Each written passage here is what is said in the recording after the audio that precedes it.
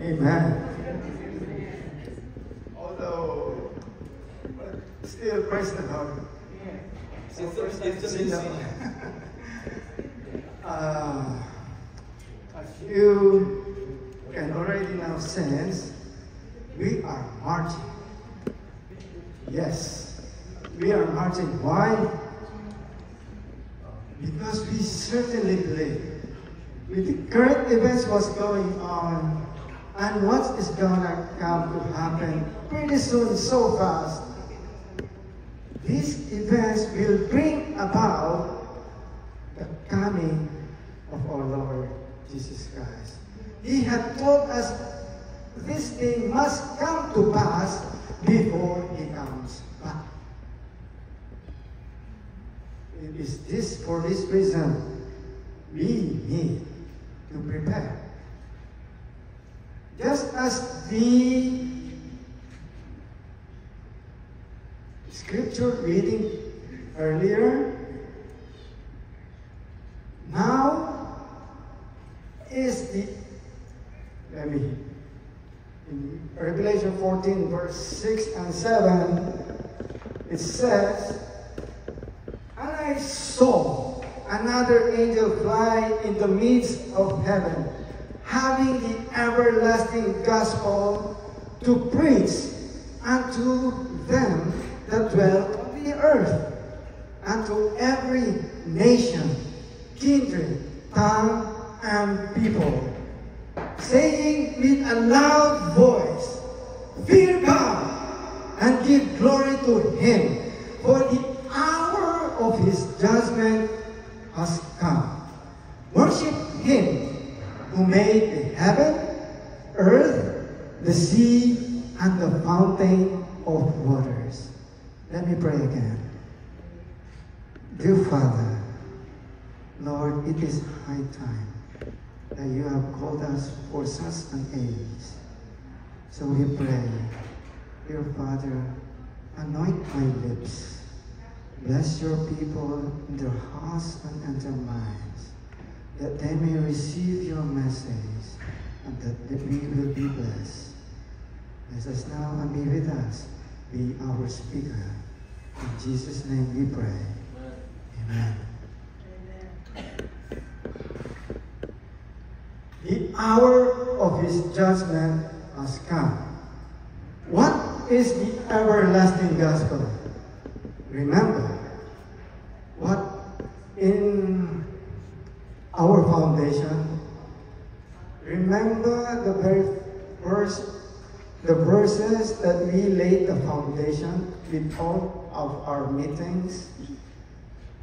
The foundation that we set here is 1 John 4 8. Who among you re- remembers that one? 1 John 4 8. For God is love. The purpose of our meeting is to prepare us for eternal life. What is eternal life again? Do you remember? John 17, verse 3.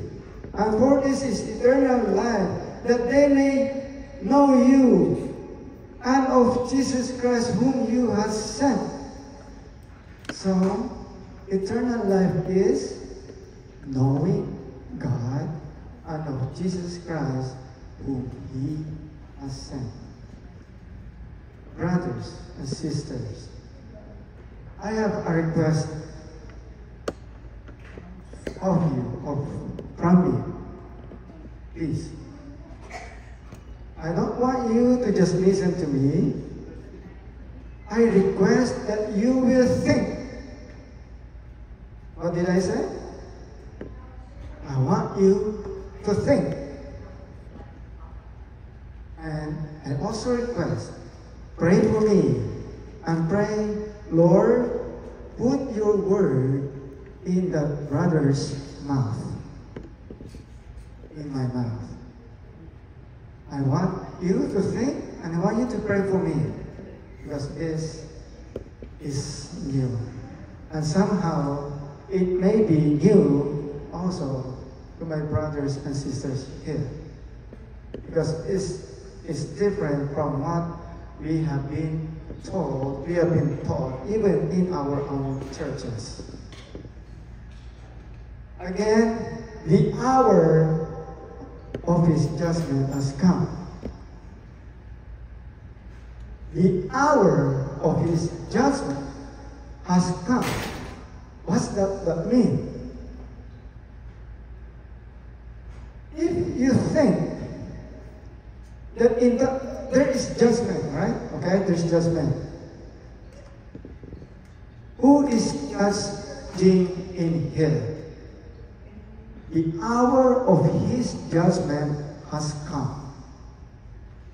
Is it God who's doing the judgment? Is he going, is he the one investigating us? Who is gonna be saved? Who's gonna be lost? Is that what it is implying in here? Again, please think. If it is that what, if it means that way, that God is the one invest, investigating who is lost and who is saved, it could imply that God is not all knowing. God is all knowing as far as I know. He even knows the future by telling it from way, way back in the past. I know that He already knows who is saved, who is lost. I know that in my heart. I know that's who He is. Then, brother, are you suggesting something different? Yes, I am. The hour of his judgment, it, there is a war. Remember in our meetings that there is a war back in heaven, that started in heaven, and that war now is in, on earth. And as I was saying earlier, he is coming soon. There is a probation for all of us to get ready. Before the probation closes, there must be judgment on us, on the people, to make a clear judgment who God really is. It is the hour now for us to make the judgment whether we can trust God or not. God is on trial. He has been on trial ever since. Ever since he was accused back in heaven. But before probation closes, it is important that we make the decision whether we choose Him or we will reject Him. Eternal life is knowing God. It is in this knowing, in this, in this building this close relationship with Him that we get access to eternal life only through Jesus. the central issue of the war between God and the enemy who is called Satan and the devil. We can look it up in 2 Corinthians chapter 10 verse 3 to 5. You can find it in there, especially in verse 3. It says the central issue, the, the reason we we struggle in this uh, war is the struggle about the knowledge of God, about the character of God. Because again, I will repeat it again. Right from the very beginning, right in heaven, he was already accused of something different. He was accused as being stern, wrathful, not someone who can be trusted. Oh no, no, no. Why did God didn't destroy Satan and his angels back then, uh, back there in heaven? Because we needed the, all of the entire universe, the all of creation, all the angels must be given proof. They must see for themselves the evidence. God says He is love. What is this character of love is all about? The great controversy between love, the governments of God is, is selflessness. And the antagonistic enemy is proposing a different kind of government called selfishness. God, on his part, is displaying selflessness. That's the truest definition of what love is.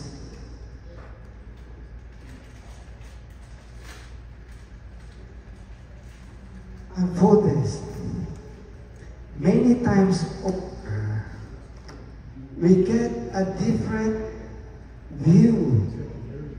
We get a different kind of reading of who God is because of the way how we read, how we think of His law, God's law. What do I mean? In the Bible, we can, we can list a ton about what is about God's law. But in summary, God's law is the total script, the total definition of His character. God's law represents God's very character. If we have a wrong reading of His law, then we will have a different reading of who He is. For example, God's law, as I'm going to present to you, it may be to hear this. God's laws are protocols, or they are the principles by which life is built to operate on God's realities. What do I mean by that? The, for example, the law of giving, the law of love, the law of ben, benevolence, like air, the air we breathe. We breathe in oxygen, we give up carbon dioxide to the plants. The plants give out oxygen, they take, take in carbon dioxide.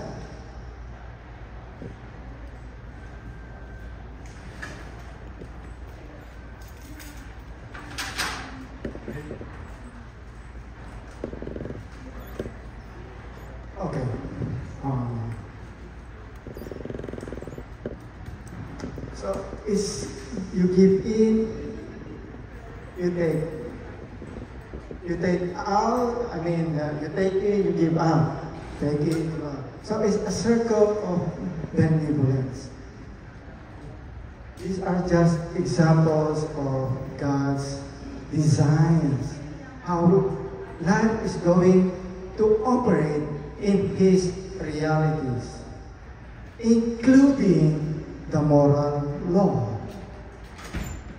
If you break even just one of the moral laws, God does not need to supersede. He's not gonna police us to put it in effect.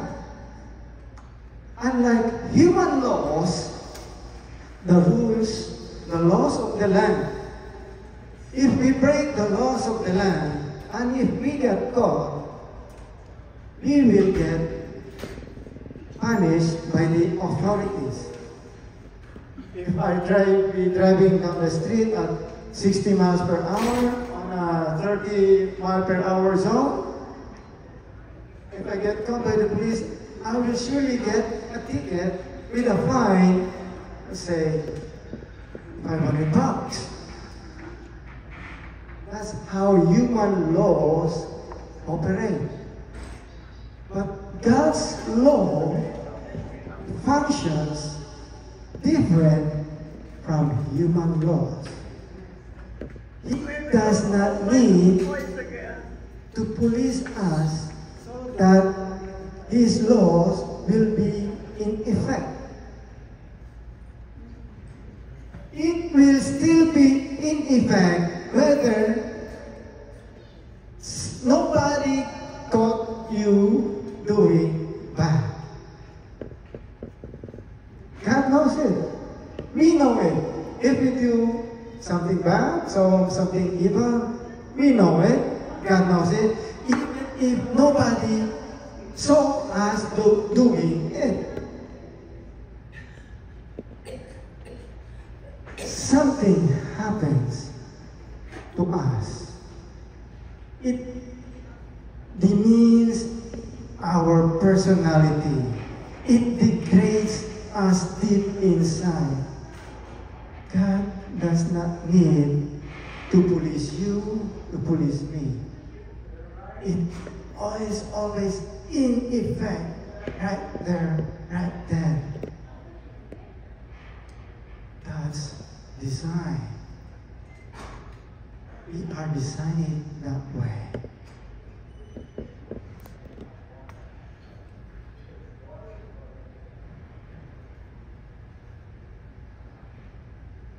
The doctrine that we hear in churches that the sacrifice of Jesus on the cross. I want you to think this is deep. It may be hard, even to our brothers and sisters. The doctrine that Jesus is sacrificed on the cross. How do Christians present? Before I'm going to present it that one. Who among you remember Ruth in the Bible? Ruth is the daughter-in-law of Naomi. Ruth was a Moabite priestess.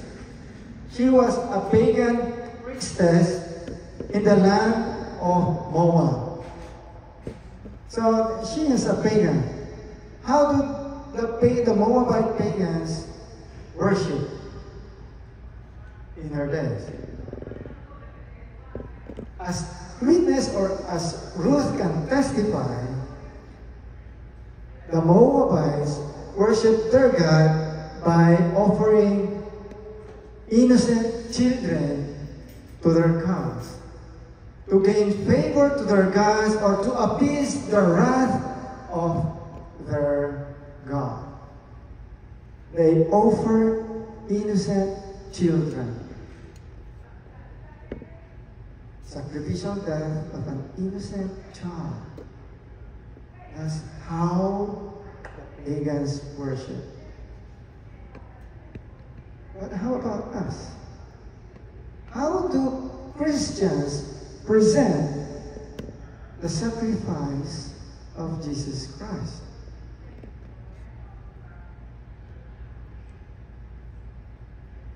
Have you ever heard?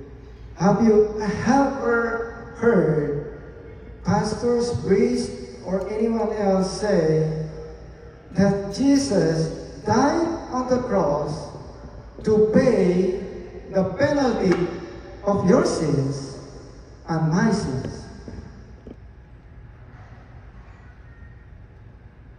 Have you heard of that? Yes, I do. I heard that a lot.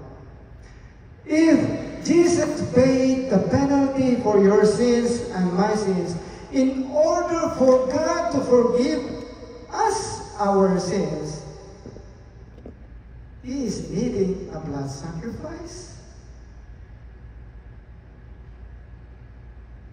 How different then is our Christian God from our pagan worship?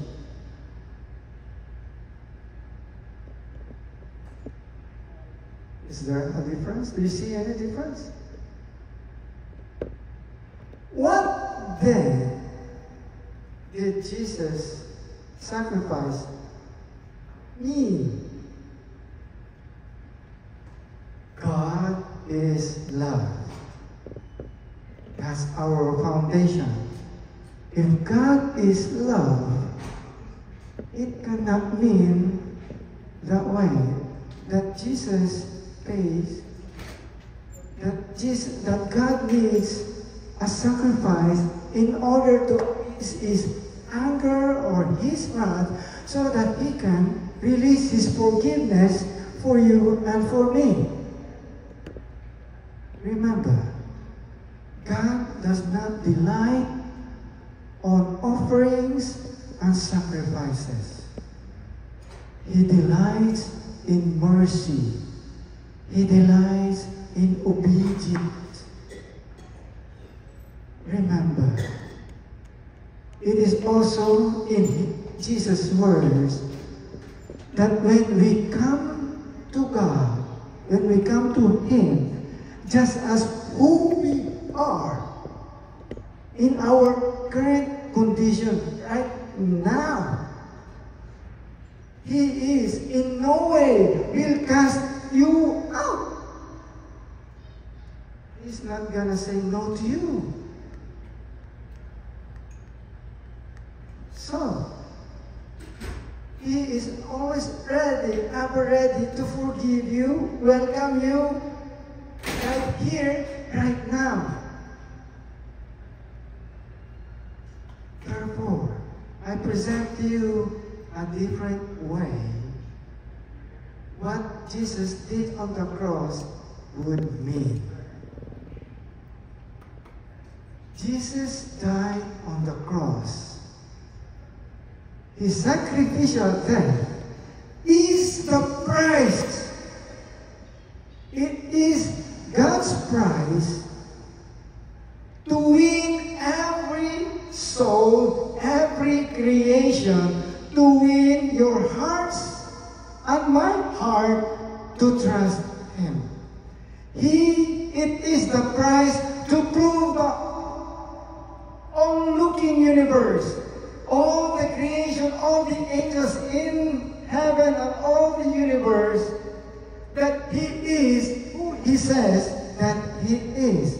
This is what it means of selflessness. That one is ever ready to lay down his life for a friend. That's what is love means. In contrast to the government of the enemy who is proposing selfishness, that he is willing to kill Jesus so that he will live. But Jesus proved that he is willing to die so that we, you and I, can live. It is the price to win your heart and my heart to trust Him so that when we entrust ourselves to Him, He can do His work to transform us to become like Him. He is going to transform this wickedness in me to become righteous like Himself. He can only transform me when I am one in my heart. I can only be transformed when I surrender now to Jesus. It is not a wishy-washy washing of blood. They say that we are redeemed by the blood, but that is a metaphor. They don't go back they don't go ahead in explaining that life is in the blood. Which means then that we, we are redeemed by the blood of Christ means we are redeemed by the life of Christ. So that our life will also be transformed, patterned into the likeness of the life of Christ.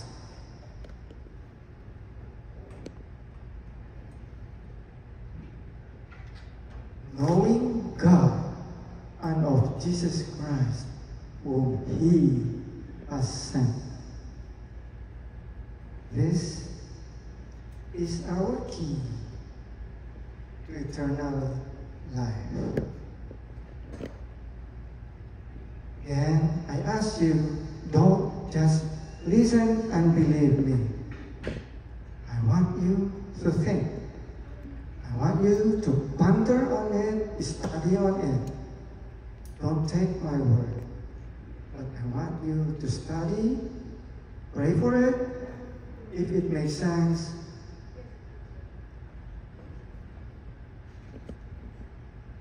study and yeah.